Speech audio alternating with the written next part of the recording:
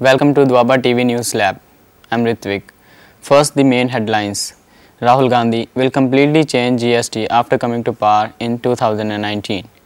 91% of 15 years old going to schools in India shows report. Kriti Sanon and Diljit Dosanjh to star in a mad fun ride Arjun Patiala. Now news in detail. Congress Vice President Rahul Gandhi said that goods and services tax that is GST would undergo sweeping changes to provide relief to traders, consumers and other sections hit by it.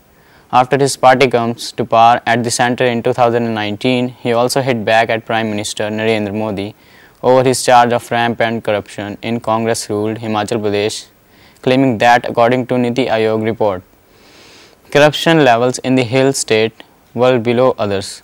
Around 91% of 15 years of age were enrolled in secondary schools in 2016, which is up from 13% higher than 78% enrolled in 2009.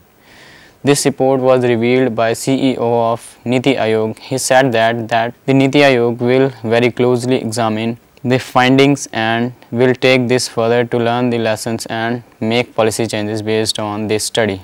Kriti Sanon and Diljit Dosanjh will share the screen space for the first time in a film titled Arjun Patiala, which she describes as larger than life. She expressed her excitement for the film by tweeting, This one's going to be a mad fun ride, Arjun Patiala, larger than life. Can't wait to start rolling. And that's the end of news till now. Have a nice day.